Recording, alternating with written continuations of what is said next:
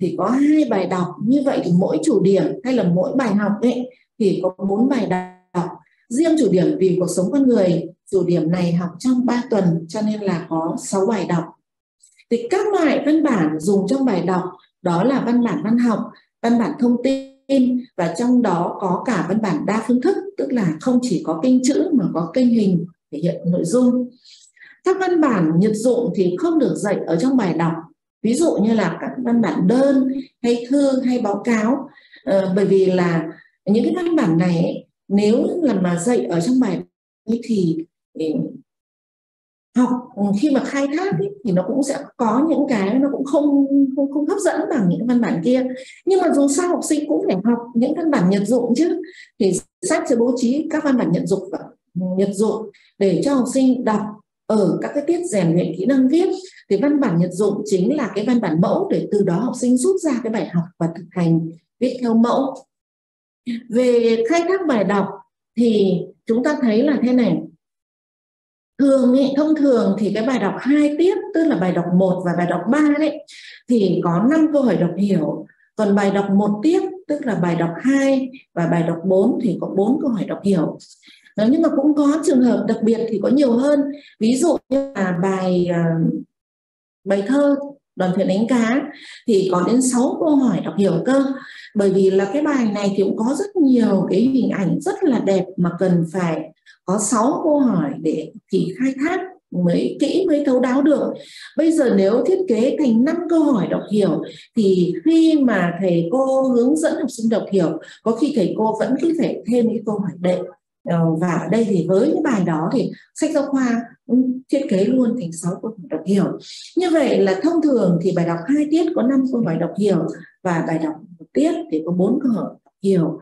Thế ngoài ra thì chúng ta thấy là cũng có cái bài ờ, luyện tập tra từ điển bắt đầu từ học kỳ 2 từ bài 11 ấy.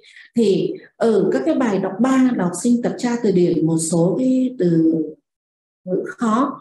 Ờ, tại sao lại là ở bài đọc 3 bởi vì bài đọc 3 là bài đọc hai tiết. Bài đọc một cũng là bài học đọc hai tiết nhưng mà trước bài đọc một thì học sinh có uh, thực hiện cái hoạt động chia sẻ. Và như vậy thì cũng mất một cái khoảng thời gian rồi. Từ bài đọc 3 là bài đọc hai tiết thì học sinh có thể có thời gian để luyện tập tra từ điển.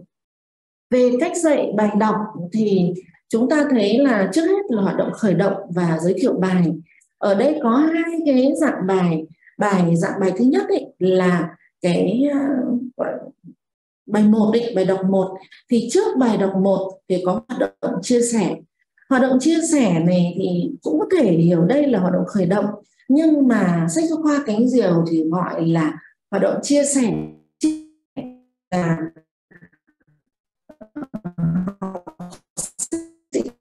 chia sẻ mình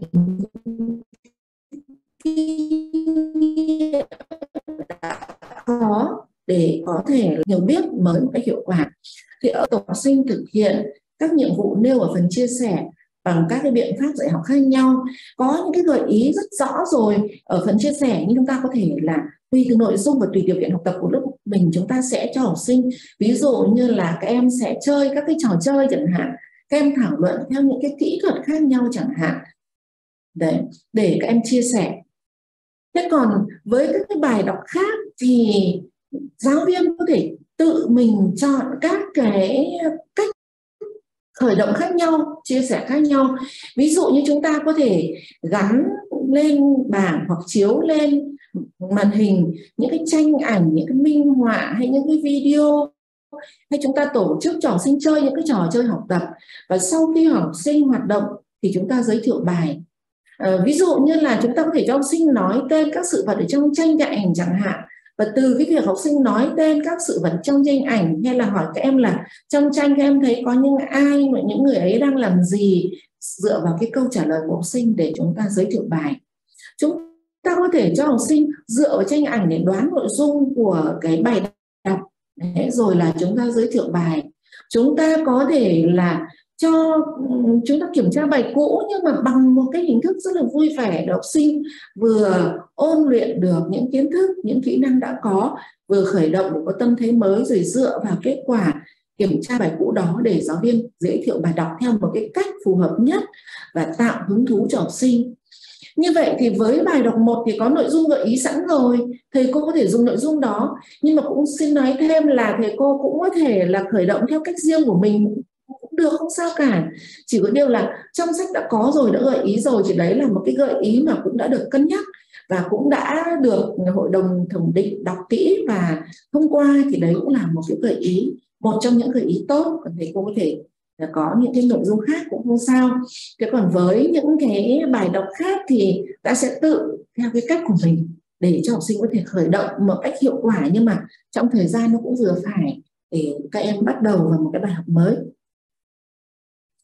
Về cái hoạt động đọc thành tiếng thì uh, chúng ta trước kia chúng ta dạy theo cái sách giáo khoa của chương trình 2006 như thế nào thì bây giờ chúng ta cũng vẫn có thể sử dụng những cái kinh nghiệm mà mình đã có ở việc tổ chức cái bài dạy đọc thành tiếng để tổ chức hoạt động đọc thành tiếng theo sách giáo khoa tiếng Việt lớp 4 mới cánh diều.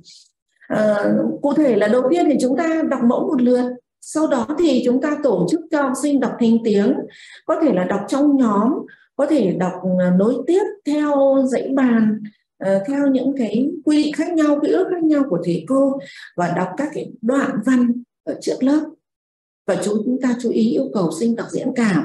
Thế thì ở đây nó có vấn đề là, vậy chúng ta có thể cho học sinh khá đọc mẫu trước hay không? Nếu trong lớp mình có học sinh khá, thầy cô có thể cho các em đọc trước.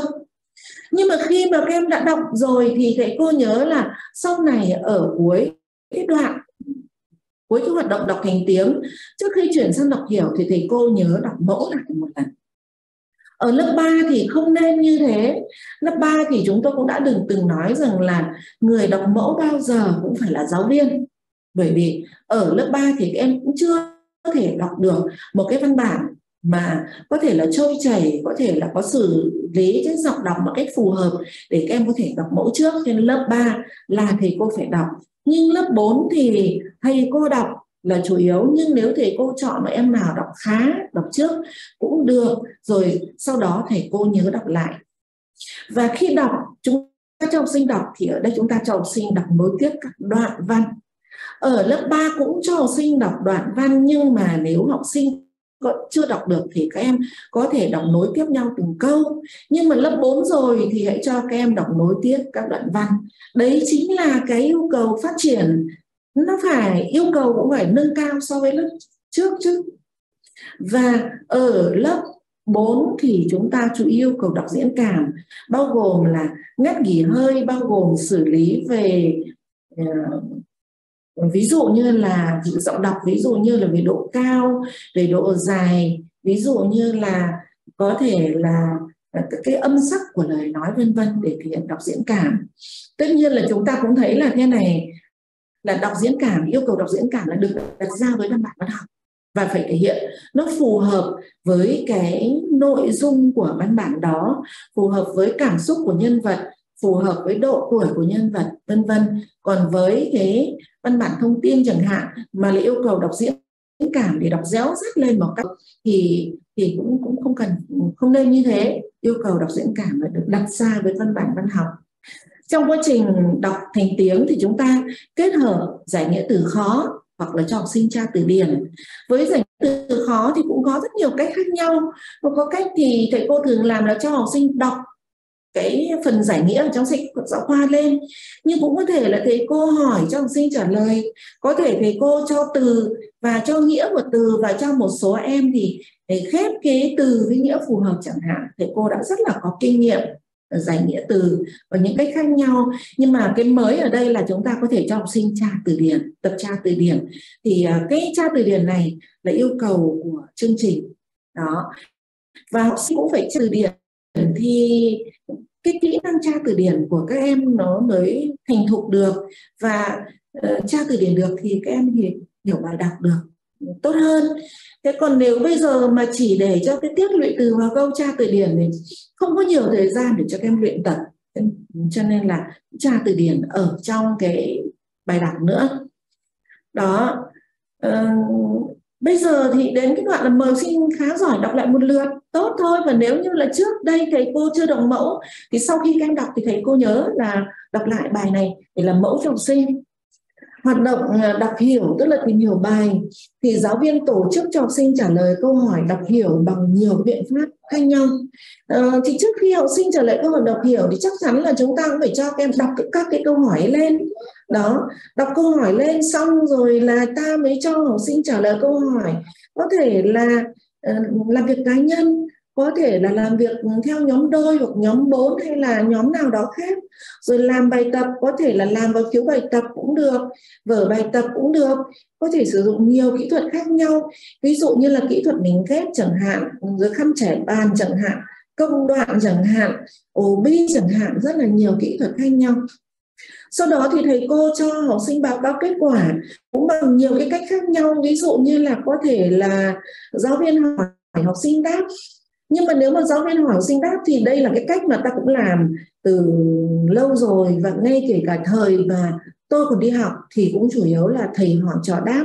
Nhưng nếu thế thì vừa đơn điệu mà vừa là học sinh không được tích cực lắm. Chứ chúng ta có thể là hay bên cạnh cái cái biện pháp đó, chúng ta có thể cho các em phỏng vấn lẫn nhau. Chẳng hạn như là một em làm phóng viên ờ, đóng vai phóng viên, em khác thì trả lời phỏng vấn chẳng hạn hoặc là một em trả lời một câu hỏi xong xì điện để cho em khác trả lời câu hỏi tiếp theo chẳng hạn. Đó rồi có thể là sử dụng cái trò chơi lật mảnh ghép hay ta nói là ô cửa bí mật gì đó để cho mỗi một em sẽ lật một cái mảnh ghép hoặc mở ô cửa đó ra. Và các em sẽ chọn được cái câu hỏi ấy mà mình, mình cần phải trả lời đấy để trả lời tức là đa dạng các hình thức cho học sinh học được một cách tích cực và hào hứng thì các cái kỹ thuật này là thầy cô được tập huấn nhiều lắm rồi. Tôi được biết là chúng ta cũng được tham gia nhiều đợt tập huấn và các kỹ thuật dạy học thì cũng rất là phong phú, có đến mấy chục kỹ thuật cơ. Thầy cô sẽ chọn cái kỹ thuật nó phù hợp với lại cái nội dung cụ thể để chúng ta tổ chức. Sau đó thì chúng ta cho học sinh luyện đọc nâng cao. Thì ở đây thầy cô thấy là có nói là rèn luyện kỹ năng đọc diễn cảm đấy là đọc với cái văn bản văn học. Đó. Ờ, và chúng ta cũng chú ý là cho học sinh đọc một cách cũng, cũng tự nhiên thôi chứ không không không gò ép và khiến các em đọc gượng gạo.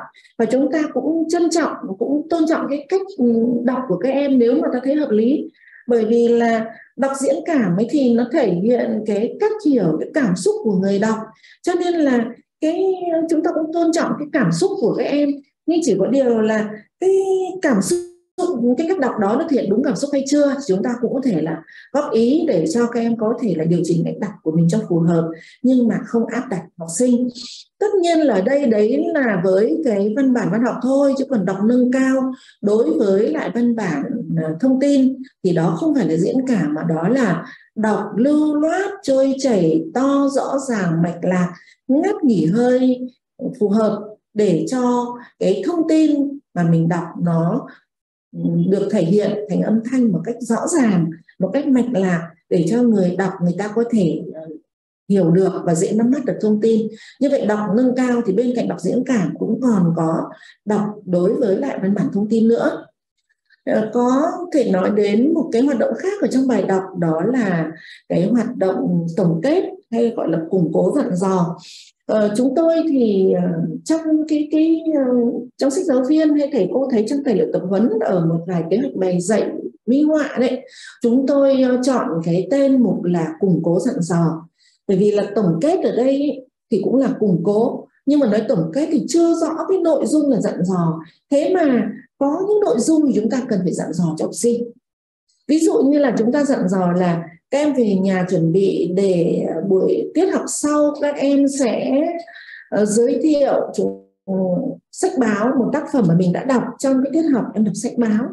Vậy thì mình phải dặn dò, hoặc là mình sẽ phải dặn học sinh là em về chuẩn bị để tiết học sau chúng ta học góc sáng tạo. Vậy thì phải có dặn dò. Nhưng chân chúng tôi chọn cái tên là củng cố dặn dò, bao gồm chúng ta hiểu có cả củng cố và tổng kết, có cả dặn dò nữa thì ở nội dung này thì giáo viên sẽ tổ chức cho học sinh đọc lại toàn bài bằng nhiều cái biện pháp khác nhau. Ờ, không phải là, không nhất thiết là một em đọc lại toàn bài, mà chúng ta cho nhiều em đọc, mà nhiều em đọc thì mới là đúng. Nếu một em đọc lại toàn bài thì không có thời gian cho em khác. Thì chúng ta có thể gọi là em này đọc đoạn 1, em khác đoạn 2, em kia đoạn 3, em nữa đoạn 4. Nhưng mà thế thì không thú vị, không hào hứng. Thì có thể lại trò chơi ô cửa bí mật, lại lật mảnh ghép. Và sau khi học sinh lật được mảnh ghép, lật được các ô cửa bí mật, em đọc đoạn đấy rồi có thể kết hợp trả lời câu hỏi đọc hiểu nữa thì phía sau các ô cửa đó phía sau các cái mảnh ghép đó sẽ hiện ra một cái hộp quà nào đó hôm qua đó có thể là một ờ, cái ờ, phiếu khen, có thể là một tràng pháo tay, có thể là một cái món quà rất là nhỏ, rất, nhưng mà các em lại rất thích bởi vì đã được động viên. Rồi có thể là hái hoa để xem xem là cái ờ, bông hoa đó ghi nhiệm vụ gì, có thể là bốc thăm, vân vân, có rất là nhiều cái cách khác nhau. Chúng ta cho học sinh đọc lại, chúng ta cho học sinh trả lời câu hỏi về các cái chi tiết ở trong bài có thể cho các em trả lời câu hỏi về cái à, thông điệp của bài đọc về nội dung ý nghĩa của bài đọc đấy. Rồi chúng ta có thể là cho học sinh trả lời những câu hỏi à, liên hệ vận dụng và chúng ta uh, nhận xét về tiết học dặn dò những điều cần thiết. Ừ, ví dụ như là dặn dò là về nhà sẽ tập kể chuyện chẳng hạn. Ví dụ như là chuẩn bị cho cái tiết học sau vân vân như là tôi vừa chia sẻ lúc trước thì tôi xin giới thiệu với quý thầy cô một cái bài đọc. Đây là tôi muốn giới thiệu cái bài đọc một đón thần mặt trời ở bài 9 tài sản vô giá. Thì thầy cô thấy là đây là bài đọc một thì trước bài đọc một là có cái nội dung là chia sẻ là trò chơi vượt qua thách thức.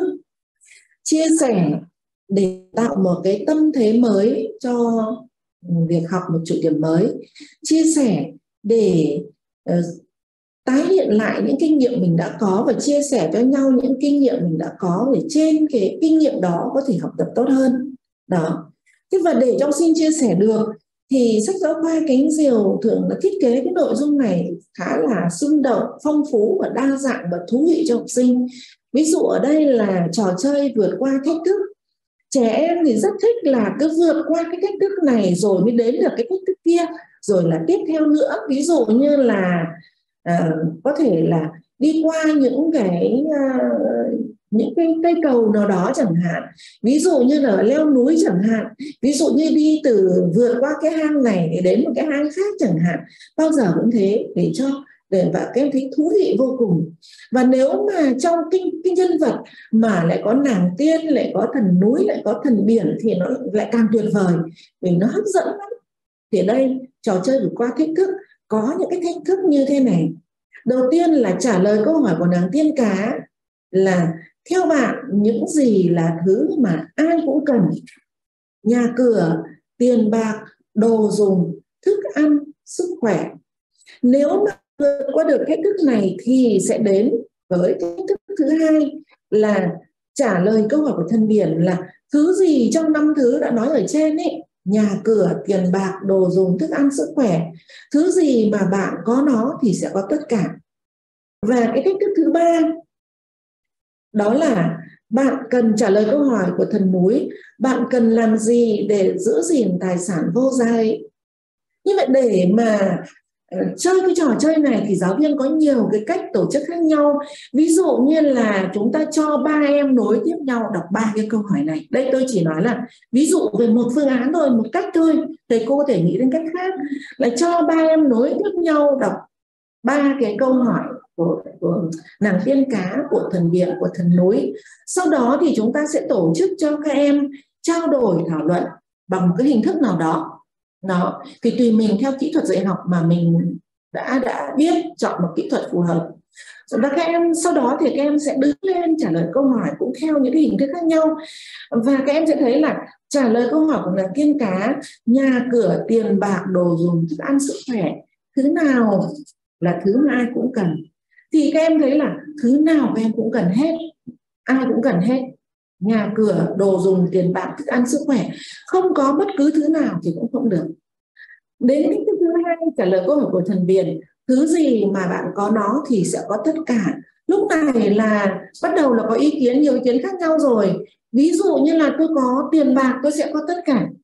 Nhưng tiền bạc nhiều khi cũng không mua được sức khỏe. Có thể mua được đồ dùng, nhà cửa, thức ăn, nhưng không mua được sức khỏe trong khi đó nếu tôi có sức khỏe thì tôi có thể kiếm ra được tiền bạc.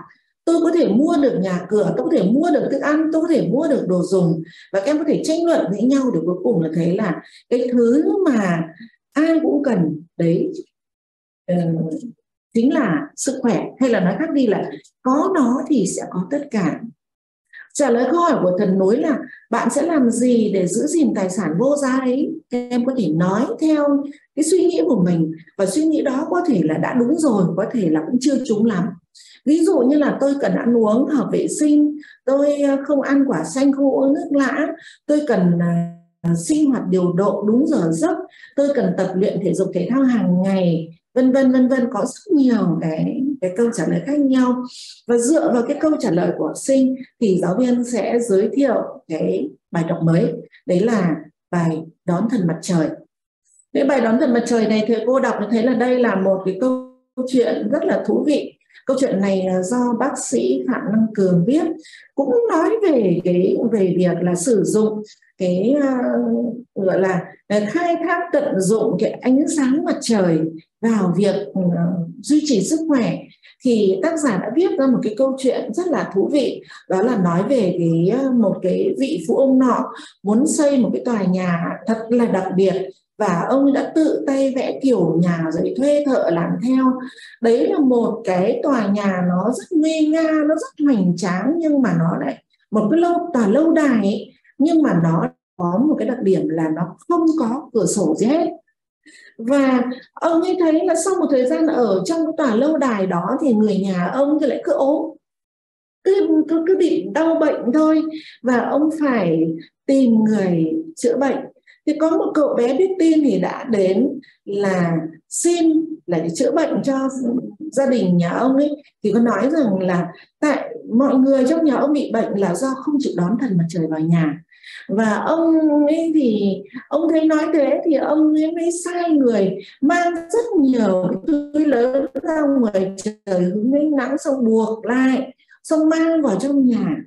Thế nhưng mà làm như thế vẫn chẳng thấy khỏe gì cả. Và ông lại gọi cậu bé đến trách, và cậu bé mới bảo rằng là cái đón thần mặt trời ấy thì lại không thế ông đón mà ông ấy nhốt thần mặt trời vào túi. Và cậu bé giải thích cho nhà ông và nhà ông mới mở cửa sổ ra, ánh nắng vào. Và từ khi mà ánh nắng vào nhà thì cả nhà nhà ông ấy khỏe mạnh.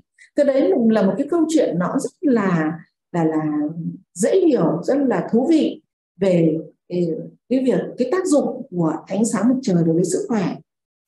Sau khi học sinh đọc thành tiếng như là cái cách mà chúng ta đã nói lúc trước thì học sinh sẽ trả lời câu hỏi, sẽ đọc hiểu. Ở đây cần chúng ta thấy là học sinh có thể đọc năm cái câu hỏi lên và trao đổi bằng nhiều cái cách khác nhau, rồi các em trả lời câu hỏi. Đó. Và sau khi học sinh trả lời câu hỏi rồi thì giáo viên có thể gợi ý để các em nêu ý nghĩa của bài đọc này. Và cuối cái ờ, hoạt động tìm hiểu cái cái bài đọc này thì như chúng ta nói là có củng cố dặn dò chúng ta có thể củng cố lại nội dung bài đọc. Chúng ta có thể trong sinh luyện đọc lại đọc diễn cảm cái câu chuyện này chúng ta có thể dặn dò. Thì với bài này thì dặn dò điều gì? Với bài này là dặn dò tự đọc sách báo. Thầy cô chú ý là cuối bài đọc một bao giờ cũng có nội dung tự đọc sách báo. Nội dung tự đọc sách báo này là dặn dò học sinh sẽ đọc thêm ở nhà. Đấy, về nhà thế em sẽ phải tìm đọc thêm hai câu chuyện hoặc là một bài thơ một câu chuyện về sức khỏe rèn luyện sức khỏe hoặc là về những cái người làm ngành y như là bác sĩ dược sĩ lương y y tá điều dưỡng viên. Hoặc là đọc uh, xin lỗi không phải hoặc là mà và đọc một bài văn hoặc bài báo miêu tả uh, hoặc là cung cấp thông tin về các nội dung trên. Và viết vào phiếu đọc sách tên bài đọc và một số nội dung chính của bài đọc. Ví dụ như là nhân vật sự việc hình ảnh câu văn mà em thích rồi nêu cảm nghĩ của em về một trong những nội dung trên. Thì nội dung tự đọc sách báo này thầy cô biết rồi. Ở lớp 3 chúng ta cũng thấy. Đấy. À, đó là theo yêu cầu của chương trình thì một năm học sinh phải đọc 35 văn bản văn học là mỗi tuần phải đọc một văn bản văn học. Vậy thì cái, một cái bài học, ví dụ như bài 9 tài sản vô giá này, các em học trong hai tuần, thì mỗi tuần các em phải đọc một văn bản văn học. Cho nên là hai tuần thì phải đọc hai văn bản văn học, cho nên các em phải đọc hai câu chuyện. Hoặc nếu không đọc hai câu chuyện thì đọc một bài thơ, một câu chuyện cũng được, thì tổng vẫn là hai văn bản văn học và theo quy định của chương trình thì một năm học sinh phải đọc 18 văn bản thông tin. Vậy thì hai tuần này học sinh phải đọc một văn bản thông tin, cho nên đọc một bài văn một bài báo. Vậy thì thầy cô sẽ dặn học sinh là em về nhà, em sẽ đọc hai câu chuyện hoặc đọc một bài thơ, một câu chuyện về sức khỏe. Tại vì bài này, tài sản vô giá là nó về sức khỏe, thì đọc về sức khỏe hoặc là về việc rèn luyện sức khỏe hoặc về những người làm nghề y. Đấy, như vậy là có yêu cầu về số lượng là hai câu chuyện hoặc một bài thơ một câu chuyện. Yêu cầu về nội dung đấy là phải liên quan đến sức khỏe về sức khỏe hoặc về rèn luyện sức khỏe hoặc về những người chăm sóc sức khỏe cho người khác tức là những người làm nghề y. Thế và về số lượng cái văn bản thông tin cũng tương tự như thế số lượng phải là một bài văn hoặc một bài báo. Đấy, về văn bản thông tin như thế. Và chúng ta yêu cầu sinh là các em viết vào phiếu đọc sách. Thì phiếu đọc sách này thì các tác giả sách giáo khoa để không thiết kế phiếu đọc sách, bởi vì là thầy cô hoàn toàn có thể làm được việc này và thầy cô sẽ có những ý tưởng riêng rất là sáng tạo, rất mới mẻ cho học sinh của mình. Yêu cầu các em viết vào phiếu đọc sách những thông tin chính. Ví dụ như là bài đọc đó tên là gì? Nội dung chính của bài đó. Ví dụ như là nhân vật đó là ai? Hay là cái à, tác phẩm đó nói về sự việc nào? Hình ảnh câu văn nào em thích, em cũng ghi vào rồi cảm nghĩ của em về một trong những nội dung ở trên. Đó thì đấy là nói về cái dạy bài đọc thì là như vậy. Bây giờ về bài viết ạ. Về bài viết thì chúng ta thấy là thế này. Trước hết là các loại bài viết ấy, thì có các cái loại bài mà thầy cô nhìn thấy ở trên à, màn hình là viết báo cáo. Đấy ba tiết. Thầy cô muốn biết là ba tiết đó là ba tiết gì thì thầy cô có thể là đọc ở trong tài liệu tập huấn. Đấy. cái cái tài liệu PDF đấy mà có, tôi biết là có chia sẻ ở trên học 10.vn và có được chia sẻ trong nhóm giáo viên cánh diều tiểu học đấy. Ở trang 11 thì có ghi như thế này, là cái ờ, viết báo cáo ấy, thì có ba tiết, bao gồm là có tiết hình thành khái niệm, tiết thực hành viết và tiết trả bài viết viết đoạn văn nêu cảm nghĩ về nhân vật, đoạn văn tưởng tượng, nêu lý do, thích một câu chuyện thì được, có bốn tiết. Cái bốn tiết đó là đó là có một tiết hình thành khái niệm, một tiết lập dàn ý, một tiết thực hành viết, một tiết trả bài viết. Viết ờ, bài văn thuật lại câu chuyện chứng kiến tham gia thì có 6 tiết, thì bao gồm là tiết hình thành khái niệm, tiết tìm ý Ờ, tiết tìm ý, tìm ý và lập dàn ý. Tiết thực hành viết mở bài và kết bài. Tiết thực hành viết đoạn văn ở thân bài. Tiết thực hành viết toàn bộ bài văn. Tiết trả bài viết. Bài văn viết thư được thực hiện trong 6 tiết. Đó là tiết hình thành khái niệm tiết lập dàn ý tiết thực hành viết phần mở đầu và phần kết thúc của bức thư tiết thực hành viết nội dung chính tiết thực hành viết toàn bộ bức thư và tiết trả bài viết. Để tại sao mà uh, lại có nhiều ờ, dành nhiều tiết cho cái nội dung viết thư? Là bởi vì như thế này đến lớp 4 sau lớp 4 học sinh không học được viết thư nữa. Thế nhưng mà nội dung viết thư cái cách viết thư thì nó lại rất quan trọng. Bởi vì thế này viết thư chính là một cái dạng giao tiếp bằng văn bản viết. Và khi giao tiếp thì người ta phải chú ý đến rất nhiều điều. Ví dụ như là xưng hô như thế nào chào như thế nào kết thúc như thế nào thăm hỏi như thế nào. Ờ, nếu mà mình ờ, chúc mừng một người ấy, thì mình nên chúc như thế nào? Mình chia buồn động viên với một người thì mình nên nói như thế nào cho nó phù hợp? Ờ, vân vân. Thì có rất nhiều điều cần phải nói ở về cái nội dung viết thư này. Mà sau này thì học sinh không có cơ hội để học lại những bài về viết thư nữa. Cho nên là dành 6 tiết cho viết thư là như vậy. Những cái cái nội dung viết đoạn văn hướng dẫn thực hiện một công việc. Thì ở đây chúng ta thấy là có thể hướng dẫn làm một sản phẩm, có thể là hướng dẫn sử dụng một sản phẩm, có thể là hướng dẫn ờ, làm một cái ờ, công việc nào đó, ví dụ như trồng cây chẳng hạn. Đấy, thì tất cả những nội dung, ví dụ như là dùng khẩu trang, ví dụ như là một cái con voi, ví dụ như là trồng cây, vân vân, những nội dung như vậy sẽ được thực hiện trong 6 tiết. Thì bao gồm có ừ, những cái tiết như thế những cái tiết bao gồm cả những nội dung mà tôi vừa mới nói. Và dạy luôn cả hai các hai kiểu bài đó là vừa là hướng dẫn thực hiện một công việc vừa sử dụng một sản phẩm rồi là lại kết hợp luôn với lại cả cái trao đổi và góc sáng tạo nữa thì có 6 tiết. Thì cái nội dung này nó cũng rất quan trọng vì sau này ấy, thì chính những cái nội dung văn bản kiểu thế này sẽ được dùng rất là nhiều ờ, còn với cái bài văn miêu tả bao gồm tả cây cối tả con vật thì được học trong 8 tiết. 8 tiết đó là gì? Đầu tiên ấy là một cái tiết hình thành khái niệm sau đó là một tiết quan sát sau đó là một tiết tìm ý và lập giản ý sau đó là một tiết thực hành viết mở bài một tiết thực hành viết kết bài một tiết thực hành viết một cho đến hai đoạn văn ở phần thân bài một tiết thực hành viết toàn bộ bài văn và một tiết trả bài viết. Như vậy là cái kiểu ờ, số lượng bài thì tôi vừa mới ờ, giới thiệu xong. Và thầy cô có thể đọc ở trong tài liệu tập huấn nha trang 11 ạ. Bây giờ về cách dạy viết thì ờ, nhìn chung là thế này, mỗi một cái dạng bài thì cái cách ừ, dạy thì nó có thể khác nhau một chút. Nhưng mà chúng ta đều thấy là các cái bước ấy, các cái nhiệm vụ chính, các hoạt động chính thì đều là, đầu tiên là giáo viên giao nhiệm vụ cho học sinh.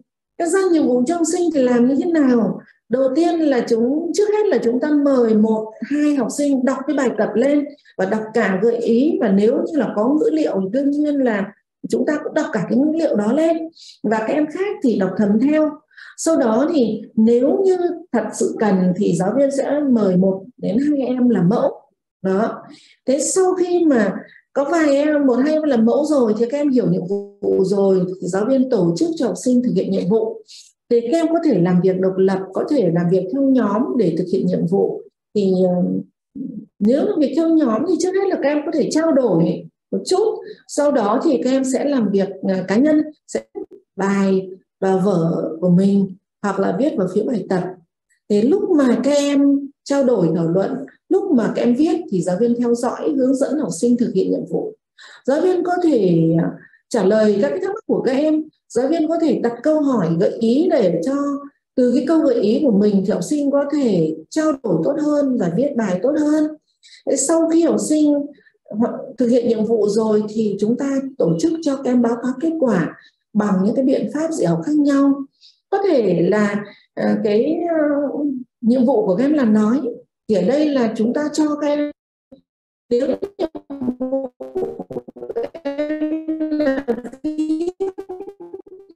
giáo viên sẽ sản phẩm của mình, thì đấy là là cái ờ, các cái việc thì như thế. Các cái việc chính là một là giáo viên giao nhiệm vụ cho học sinh, hai là giáo viên tổ chức cho học sinh thực hiện nhiệm vụ bằng nhiều cái hình thức khác nhau. Ba là học sinh cũng báo cáo kết quả bằng nhiều cái biện pháp khác nhau. Và chắc chắn là khi học sinh báo cáo kết quả thì các em sẽ trao đổi với nhau về cái sản phẩm đó và giáo viên sẽ có những cái kết luận cuối cùng. Tôi xin giới thiệu với thầy cô một bài. Đây là bài à, đấy viết luyện tập tả con vật và mở bài. Thì đây chúng ta thấy là thế này là câu hỏi ở trong sách, bài tập trong sách là xếp các đoạn mở bài dưới đây vào nhóm thích hợp. Thì ờ, trong sách có bốn cái đoạn mở bài. Bốn đoạn mở bài. Có một đoạn ờ, đoạn A là giới thiệu con mèo. Meo meo đấy, chú bạn mới của tôi lại đến chơi với tôi đấy. Và đoạn thứ hai là giới thiệu về cái con chim, họa mi. Chiều nào cũng vậy, con họa mi ấy không biết từ phương nào bay đến đây bay đến vườn tầm xuân nhà tôi mà hót à, thứ ba là đây giới thiệu con thỏ. Mấy hôm nay trường em mua một con thỏ trắng về nuôi cùng với mấy con thỏ nữa. À, vân vân. Và thứ ba là hồi 11 tuổi tôi gầy và ẻo lá như một uh, cọng cỏ mảnh. Một hôm mẹ tôi mang về một con mèo vân vân. Thế nên sau đó thì học sinh uh, yêu cầu học sinh là sách yêu cầu học sinh là xếp các cái đoạn mở bài này. Vào hai nhóm nhóm thứ nhất là mở bài trực tiếp. Nhóm mở bài trực tiếp thì giới thiệu đối tượng miêu tả ngay từ câu mở đầu. Và mở nhóm mở bài gián tiếp thì nêu các cái sự vật hiện tượng khác nhau để dẫn dắt người đọc đến với đối tượng miêu tả là bài văn. Ví dụ đây có uh, đều là giới thiệu các con vật này con thỏ này con mèo này con chim hỏa mi này con thỏ này lại giới thiệu con mèo. Vậy thì đoạn mở bài nào giới thiệu ngay vào con vật và đoạn nào thì lại phải giới thiệu cái nội dung khác, đối tượng khác có liên quan xong mới giới thiệu với nhân vật? Để khi mà xếp vào cái nhóm này rồi thì học sinh sẽ hiểu thế nào là mở bài trực tiếp, thế nào là mở bài gián tiếp. Đấy, ở đây học sinh sẽ đọc bài này. Học sinh sẽ thảo luận ví dụ thầy cô cho học sinh thảo luận nhóm 2 hoặc nhóm 4 để là, vậy thì cái đoạn, ví dụ đoạn mở bài A ta sẽ để là ở mở bài trực tiếp hay là gián tiếp? Đoạn mở bài B thì sao? Đấy. sau khi xét các em hiểu rồi thì các em sẽ đọc cái bài tập 2 là viết mở bài cho bài văn tả con vật mà em đã lập dàn ý. Yêu cầu là viết một đoạn mở bài trực tiếp, viết một đoạn mở bài gián tiếp sau khi học sinh đọc cái bài tập này lên thì giáo viên có yêu cầu các em là các em viết cái đoạn văn này vào vở của mình. À, nếu muốn thì chúng ta có thể cho một em nói là em sẽ viết như thế này. Nhưng mà nếu mà chưa đủ thời gian thì chúng ta cho học sinh viết trước đi. Đó. Và để cho học sinh viết được thì giáo viên có thể cho học sinh là nhớ lại xem là thế nào là mở bài trực tiếp, thế nào là mở bài gián tiếp. Tôi cho học sinh viết và sau khi các em viết thì một số em đọc cái cái cái đoạn văn mình đã viết lên. Thế rồi là các em sẽ nói là đoạn văn này của em là đoạn mở bài trực tiếp, đoạn văn này là đoạn mở bài gián tiếp. Giáo viên sẽ ờ, nếu có điều kiện giáo viên chiếu đoạn văn đó lên, rồi cho các bạn nhận xét xem là đoạn văn này thì nó đã phù hợp với yêu cầu là nó là đoạn mở bài hay chưa cách dùng từ đặt câu, cách viết thế nào, sử dụng dấu câu thế nào. Bạn bảo đây là đoạn mở bài trực tiếp, vậy đây có đúng là đoạn mở bài trực tiếp hay không? Thì đấy đấy là ví dụ về một cái bài viết như vậy. Bây giờ tôi xin giới thiệu về cái việc dạy kỹ năng nghe và nói. Trước hết là về các kiểu bài. Thì có nhiều kiểu bài. Đầu tiên là kiểu bài nghe kể dựa vào tranh và dựa vào gợi ý. Thì ờ, ở đây chúng ta thấy là vẫn là bài nghe kể, nhưng mà ta thấy trong cái sách lớp 4 này yêu cầu nghe kể nó cao hơn so với lại yêu cầu nghe kể ở các lớp dưới đó. ví dụ như so với lớp 3 thì yêu cầu cao hơn. Ví dụ cũng ờ, là à, à, nghe kể nhưng mà sẽ yêu cầu là chú trọng về cái việc rèn cái cách nói như thế nào không chỉ lưu loát mạch lạc mà có thể là nó là bước đầu có yếu tố biểu cảm chẳng hạn. À, ví dụ như là về cái cách nghe như thế nào nghe phải chăm chú phải có một cái tương tác tốt với lại cái ờ, cái cái người mà với người nói. Ví dụ nghe xong khi chép xong phải trao đổi như thế nào trao đổi sao cho nói cho rõ cái ý của mình và trao đổi, trong quá trình trao đổi thì tôn trọng cái ý kiến khác với mình tranh luận một cách văn minh chẳng hạn. Thứ hai là trao đổi về chủ điểm. Ví dụ như là trao đổi về lòng dũng cảm chẳng hạn, trao đổi về lòng yêu nước chẳng hạn, vân vân. Thì trong quá trình trao đổi cũng chú trọng rèn cái cách nói, cách nghe và cách trao đổi. Có thể là kể lại, đọc lại, hay giới thiệu và trao đổi về cái câu chuyện bài thơ, bài văn đã đọc ở nhà. Tức là ở cái cuối bài đọc một, sau bài đọc một thì chúng ta dặn học sinh về nhà tự đọc sách báo. Thì bây giờ các em sẽ đến lớp các em trao đổi, giới thiệu về cái tác phẩm mà mình đã đọc ở nhà. Thì trong quá trình trao đổi, cũng chú trọng rèn cách nói, rèn cách nghe, cách trao đổi. Có thể có một cái dạng bài nữa, có một dạng bài nữa là dạng bài tập diễn kịch. Thì cách dạy bài nghe kể cái bài nghe kể chuyện thì giáo viên có thể kể chuyện hoặc là chiếu cái video một lượt. À, sau đó thì rồi học sinh sẽ đọc các cái câu hỏi gợi ý ở trong sách giáo khoa để mà định hướng ghi nhớ khi mà nghe lại một lần nữa. Thế sau đó thì giáo viên có thể kể lại cái câu chuyện hoặc là chiếu video hai lượt nữa. Như vậy là chúng ta thấy là ở ở cái bước mà nghe kể chuyện ấy thì cũng tương tự như là ở các cái lớp trên thôi. Đó. Ờ, như ở lớp dưới thôi. Tôi xin lỗi như ở lớp dưới như là lớp 2, lớp kể chuyện thì bây giờ cho học sinh tập kể. Nhưng mà nếu mà tất cả đều kể trước lớp thì rất ít em được kể. Cho nên trước hết là cho các em tập kể và trao đổi về cái câu chuyện ở trong nhóm đã đó. Sau đó thì mới có một số em đại diện cho các nhóm trao đổi, kể và trao đổi về câu chuyện ở trước lớp. Như thế thì các em sẽ được, nhiều em được kể, được trao đổi hơn. Và sau khi học sinh kể, trao đổi trước lớp thì các em sẽ có, giáo viên cũng sẽ có những cái ý kiến, góp ý để cho các em có thể là hoàn thiện cái kỹ năng của mình. Ví dụ đây ạ, tôi xin giới thiệu một cái câu chuyện là câu chuyện cứu người trước đã, dựa vào chuyện tranh và các câu mở đoạn kể, và các câu mở đoạn thì sẽ kể lại từng đoạn của câu chuyện. Đây là một cái câu chuyện mà chúng ta thấy là cũng kể chuyện theo tranh, nhưng mà yêu cầu thì khó hơn so với lại các lớp trước. Đó là có lời mở đoạn ở dưới tranh và có bóng nói, xong học sinh dựa vào tranh, dựa vào cái câu mở đoạn, dựa vào nội dung của cái bóng nói này, để các em có thể kể được, hình dung ra nội dung của một câu chuyện và kể lại được cái câu chuyện đó. Đó. Thì ờ, cái cách cái cách như thế nào ấy, thì ờ, chúng ta cũng sẽ có, chúng sẽ, ta sẽ trao đổi sau. Bởi vì là ờ, theo cái kế hoạch của chúng ta thì sẽ có một nhóm chúng ta trao đổi về cái cái câu chuyện này cho nên là tôi sẽ không nói sâu vào cái, cái câu chuyện vào cái việc là dạy như thế nào. Thì đây cái đầu tiên thì học sinh sẽ uh, phải làm một cái việc là dựa vào cái chuyện cái cái chuyện tranh này và các câu mở đoạn kể lại từng đoạn của câu chuyện. Thế sau khi các em kể lại từng đoạn của câu chuyện này thì các em sẽ kể lại toàn bộ câu chuyện. Thế và sẽ phải trao đổi về cái nội dung của cái câu chuyện này. Đấy là điều đáng quý nhất ở thầy thuốc phạm bân là gì? Thì kể chuyện, nhưng mà sau khi kể xong thì là chưa hoàn thành. Mà phải trao đổi về cái ý nghĩa của câu chuyện cơ.